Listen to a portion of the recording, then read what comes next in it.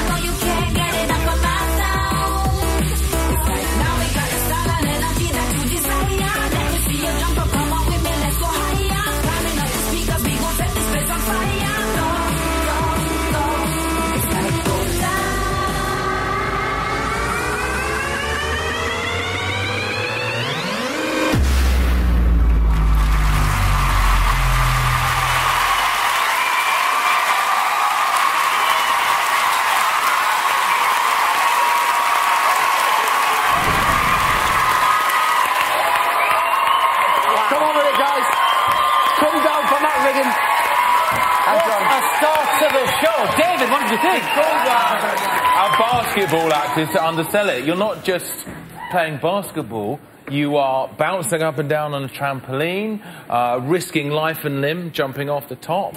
You all look great in red satin shorts. There is so much to your act, and I really hope people pick up the phones and vote for you because it is a truly extraordinary act. Guys, I thought that was an to the show. It was choreographed brilliantly. So much going on at all times. You were like sort of jumping Spider-Men at the back there and obviously the tricks and some of the little dance moves that you were putting in. I thought the music was good and it's really good to see an act that's so physical. It's brilliant. I think you should be really proud.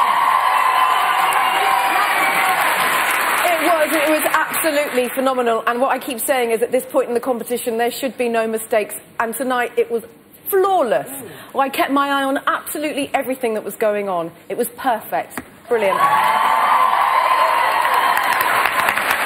Um, and you guys are from where? Is it Hungary?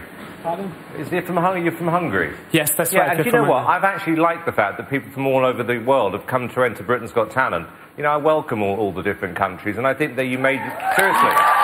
Um, even though it's called Britain's Got Talent, but you know what? You've represented yourselves brilliantly compared to what I saw the first time. This was even better, and it, you actually risked your life.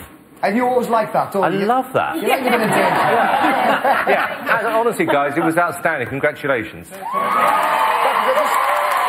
Guys, fantastic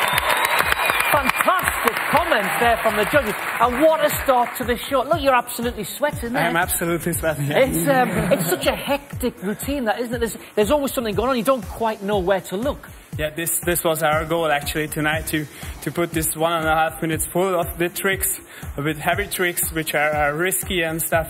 And I guess we succeeded in that. You absolutely did it. It Thank was you very much. bursting with tricks. And what a start to the